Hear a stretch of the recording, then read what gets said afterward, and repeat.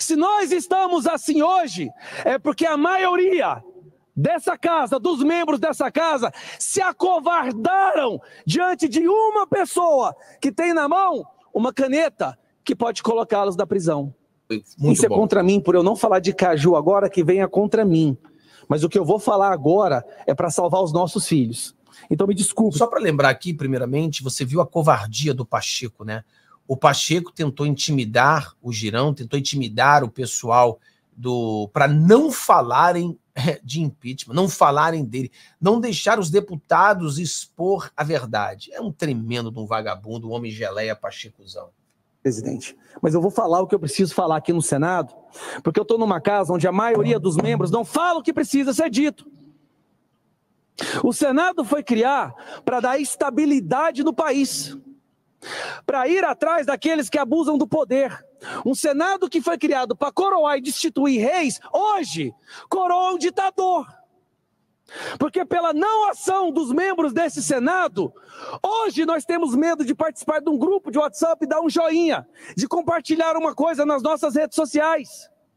Todas as vezes que o Senado deixou de agir, mais um tijolo foi colocado nesse império ditatorial que se consolida no Brasil. Então, se eu estou fazendo algo aqui hoje, é chamando o povo brasileiro a olhe para os senadores. Se nós estamos assim hoje, é porque a maioria dessa casa, dos membros dessa casa, se acovardaram diante de uma pessoa que tem na mão uma caneta que pode colocá-los na prisão. Mas ter medo de prisão em um país que nós já estamos presos? Se engana quem acha que está livre nesse Brasil, presidente. Não é porque você pode levar o seu corpo de um ponto A para um ponto B, não quer dizer que você não esteja preso. Nós estamos em um país prisão perdendo a nossa voz, onde a Constituição não é respeitada, onde dia após dia irregularidades são cometidas e os senadores que poderiam fazer uma coisa nada fazem. Nós, deputados federais, somos cobrados diariamente, mas a verdade é que o Brasil saiba disso. São os senadores que têm o poder de trazer estabilidade de volta ao Brasil. São os senadores que podem devolver a nossa democracia. Quando o STF censurou a imprensa por causa do amigo do amigo do meu pai, eram senadores que deveriam ter feito algo e não fizeram. Mais um tijolo foi colocado nessa ditadura. Quando o Moraes abriu inquéritos ilegais, mais um tijolo foi colocado e os senadores colocaram cimento para consolidar. Nada fizeram. Quando tem alguma votação, uma PEC ou um PL, e o STF interfere, e os senadores não fazem nada, mais uma vez a nossa ditadura está sendo cada vez mais consolidada. Tem exceções? Sim, nós temos exceções, presidente. Nós temos vários senadores que são guerreiros, mas ainda não fazem a maioria da casa, que precisam da nossa ajuda. E esses senadores, inclusive, estão aqui agora. Muitos deles. Mas eu sei que há senadores, sim, que lutam pelo Brasil, mas infelizmente a maioria da casa não coopera, presidente. Infelizmente, quando a gente percebe imagens de WhatsApp sendo vazadas, conversas, mostrando que uma organização criminosa foi criada dentro do TSE e o STF, e os senadores não fazem nada, o Pacheco não faz nada, mais um tijolo é consolidado nessa ditadura, presidente. Como eu poderia vir aqui e ficar em silêncio sobre isso, se essa é a casa que tudo pode ser resolvido? Nós sabemos, senador Magno Malta, Rogério Marinho, tem vários outros, Damares, nós temos o senador Girão, vários outros senadores. O Brasil conhece os senadores que estão do nosso lado. Mas, infelizmente, a maioria coopera para a consolidação dessa ditadura. O povo brasileiro tem que focar agora em cobrar os senadores para que prisões preventivas intermináveis não aconteçam novamente. O povo brasileiro tem que voltar a cobrar os senadores para que as nossas redes sociais não sejam derrubadas ilegalmente. Nós chegamos num nível que nós não sabemos mais o que fazer, Van Hatten. O que mais nós podemos fazer? Que PEC, que PL, não adianta. Se a gente propõe uma PEC, um PL, vai ministro do STF ligar senador ameaçar, ligar para deputado federal ameaçar, como que a gente aprova alguma coisa? Ameaça de prisão. Nós não podemos legislar, presidente. Nós somos eleitos para legislar. Quando a gente tenta criar uma lei para resgatar a decência, a democracia, lá vem ligação do STF. Interferência direta nas nossas ações. Um homem morreu na prisão, gente. Um prisioneiro político morreu na prisão. Uma família perdeu o marido, o pai, porque ele foi preso politicamente. Aí eu tenho que vir aqui e falar de caju. Vocês estão de brincadeira comigo? Não só nós estamos numa situação onde um membro do STF, ele é vítima, acusador, investigador e juiz, como nós tivemos agora recentemente o caso da família Montalvani, onde não só não era vítima, o laudo pericial saiu agora, onde o filho dele deu um tapa na cara, deu um tapa na nuca do cidadão. O cidadão leva um tapa na nuca do filho do ministro do STF e depois a família é investigada, Polícia Federal invade a casa, os bens são apreendidos, a vida é destruída. Então não é só vítima, acusador, investigador e juiz, não. É agressor, acusador, investigador e juiz. Senadores, pelo amor de Deus, que legado nós vamos deixar para os nossos filhos? Eu posso até ser preso, mas eu garanto que minha filha e meu filho vão ter orgulho de mim até o último dia da vida deles. Isso poderá ser dito pelos filhos de todos os senadores dessa casa? Isso poderia ser dito pelos filhos do Pacheco? Eu tenho certeza que não. Eu vim para cá essa semana, presidente, deixando organizado pelo menos a parte financeira para a educação dos meus filhos. Olha o nível que a gente chegou. Olha o nível.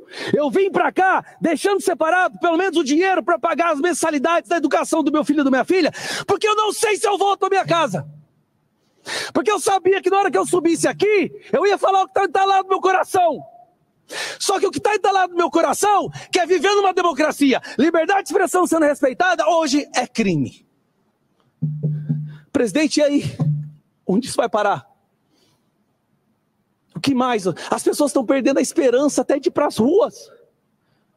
A gente coloca milhões de pessoas nas ruas e o Pacheco finge que elas não existem. Ah, tem que me sensibilizar. Sensibilizar? Quando um seu filho ou sua filha, Pacheco, falar algo que o Moraes não gosta e for preso, aí você vai estar sensibilizado? Porque tem filhos de centenas de milhares de pessoas presos porque falaram porque foram para uma manifestação, porque publicaram algo extremamente perigoso no celular. Chega de tentar resolver essa questão com PEC ou com PL. Nós precisamos colocar milhões e milhões de pessoas nas ruas. E na semana seguinte, apresentar o pedido de impeachment com o maior número de assinaturas de deputados da história. Nós já temos 145 deputados que assinaram o pedido de impeachment do Alexandre de Moraes. Somando os votos desses deputados, são 17 milhões de pessoas. Cadê os outros deputados para assinar esse pedido de impeachment? Todos têm que trabalhar agora. Então eu peço perdão, presidente, porque estava entalado no meu coração há muito tempo. E aqui era o lugar que eu tinha que falar isso. Esbravejar e falar na Câmara dos Deputados, eu já fiz tudo que eu podia falar, até minha garganta não aguentar. Mas é aqui que a solução do Brasil pode sair. E me desculpe se o fato de eu ter falado o que eu falei possa lhe causar alguma retaliação do Pacheco, provavelmente virá. Mas todo o sacrifício que o senhor está fazendo, todo o sacrifício será pago. Será pago com a gratidão do povo, ao contrário da vida dele, que hoje não pode ir numa padaria. Não existe discurso de ódio de pessoas que amam esse país e só querem viver numa democracia. O que vocês escutam aqui é a voz de uma pessoa indignada. Porque a gente está vendo a nossa Constituição ser desrespeitada, pessoas inocentes sendo presas. Eu não posso me indignar mais. Então, presidente, para concluir, eu gosto de caju. Espero que falar isso impeça o senhor de ser penalizado pelo que está acontecendo, presidente. Obrigado. Pô, sensacional essa fala do Gustavo Gaia, né? Sensacional. É que eu falo, a gente tem que ter cuidado quando a gente generaliza, diz que todos são ruins. Não, não, não. Nós temos pessoas boas ali, tá? Temos pessoas boas. A gente tem que ter cuidado. Às vezes a gente está nervoso, a gente fala que todo mundo não presta. É, eu, eu entendo. Mas a realidade é que nós temos algumas pessoas boas ali, muito boas. Andei divulgando o canal do Fábio para alguns conhecidos e sempre postava no Twitter. Eu só tinha o Twitter. Carol, infelizmente, Carol, as pessoas que moram no Brasil estão censuradas, tá? E o que eu falei para as pessoas é o seguinte: assista o meu canal. Aqui eu vou colocar as coisas do X. Por exemplo, esse vídeo a gente tirou do X, tirei matéria do X. Então, sempre aqui no nosso canal, iremos colocar as coisas do X para vocês, tá? Sempre você terá aqui ele, por exemplo, o que eu estou fazendo é totalmente legal, tá? Eu moro nos Estados Unidos, eu não preciso de VPN, eu entro no X e eu tenho acesso a todas as contas do X. Então, o que eu estou fazendo é totalmente legal. O que eu estou fazendo é ser uma ponte para vocês. Você não precisa pegar o VPN. Vocês não precisam. Se eu sou você, não entrava nada de VPN agora. Se você tem VPN para entrar em filme, coisa assim, não tem problema nenhum. Mas você não pode pegar um VPN para entrar no X. Eu sei que tem muitos youtubers dizendo para você: ah, não, que agora nem todo mundo está desobedecendo Alexandre de Moraes. Pessoal, isso não é verdade, tá? Tem muitas pessoas ainda no X, porque as provedoras ainda não são todas que apagaram. Ainda tem provedoras ligadas que dá acesso ao X. Mas uma vez que todas sejam apagadas, o número de pessoas no Brasil no X vai, de, vai diminuir muito, tá? Então o alcance vai cair completamente. O meu, propó meu, meu problema é, eu estou nos Estados Unidos, como expliquei para vocês, estou seguro. Você não está. E o raivoso do ditador, ele vai querer usar pessoas como um exemplo. Então, ele não vai poder prender todo mundo, mas ele pode prender você. Ele pode multar você. E você não quer isso. Então, no momento, se eu fosse vocês, eu não entraria no X. Pelo momento. Vamos dar um tempo, vamos esperar, vamos ver o que vai acontecer. Mas eu não entraria. E se eu entrar, no caso com VPN, não avise a ninguém. Não coloque aqui no chat, ó, oh, eu tô entrando no VPN no X. Não avise a ninguém. Se você for uma pessoa que tem VPN e você for entrar no X, aí você entra de acordo com o seu próprio risco, o que, que você faz? Seja um sniper, seja um fantasma, ou seja, não não compartilhe, não coloque fotos, não coloque vídeos, e não, não vai retweetar, não faça isso, não coloque nada. Não siga ninguém, não deixe de seguir ninguém. Simplesmente veja as coisas, mas não mostra que você está dentro do negócio. Esse é o segredo, entendeu? Essa é a jogada. Mas eu, pessoalmente, serei a ponte de vocês. Eu vou pegar as matérias do Twitter e eu vou botar aqui nas minhas lives. E você vai assistir as lives. Entendeu? Você vai assistir. Alguém falou assim. Alguém falou assim é, é para mim, a, a, a Sandra. Ela falou: boa tarde, mas Fábio, você dos Estados Unidos pode entrar no X sem VPN e nos informar sem problema nenhum. Se estamos fazendo isso, querido, eu acabei de informar vocês sem problema nenhum. Aí você fala: você e o Kleber do canal do Jacaré estão fazendo igualzinho no canal privado, inclusive o curso Sim, eu tinha uma empresa, eu vi outras empresas para a gente criar a trincheira. Eu venho falando de trincheira com vocês há mais de um mês, dois meses, que a gente queria criar um grupo privado aonde nós pudéssemos fazer lives, né? Então, eu vi uma empresa, a empresa seria assim, seria como um youtuber, seria como uma rede social aonde eu colocaria vídeos, né? Seria uma plataforma privada para gente. É legal, mas muitos já fazem isso, né? Muitos já fazem isso.